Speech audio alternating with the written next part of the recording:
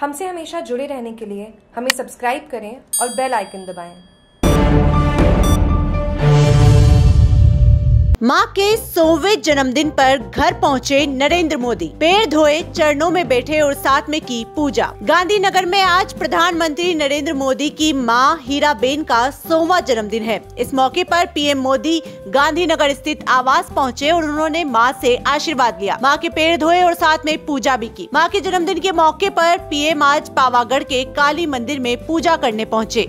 इसके बाद वडोदरा में एक रैली को संबोधित भी किया। पीएम दो दिवसीय दौरे पर गुजरात पहुँचे हैं। वे राज्य को इक्कीस हज़ार करोड़ रुपए की विभिन्न परियोजनाओं की सौगात देंगे। प्रधानमंत्री मोदी की माँ हीराबेन का जन्म 18 जून 1923 को हुआ था। पीएम की माँ के जन्मदिन के अवसर पर उनके गृह नगर वडनगर में धार्मिक कार्यक्रम आयोजित किए जाएँगे और उनके लंबे जीवन और स्वास्थ्य की प्रार्थना की जाएगी। रायसन क्षेत्र में 80 मीटर लंबी सड़क का नाम बदलकर पूज्य हीराबा मार्ग किया जाएगा। परिवार ने जगन्नाथ मंदिर में भंडारे की भी योजना बनाई है। बाद में प्रधानमंत्री मोदी आज पावागढ़ के काली मंदिर में पूजा अर्चना करने पहुँचे। उन्होंने मंदिर में ध्वजारोहण भी किया। जानकारी के अनुसार मंदिर में 500 साल बाद ध्वजारोहण किया गया है। इस मंदिर से खुद उनकी आस्था जुड़ी हुई है। इस मंदिर में देवी के दर्शनों के लिए भक्तों को रोपवे का सहारा लेना पड़ता है, क्योंकि ये मंदिर पर्वत पर स्थित है।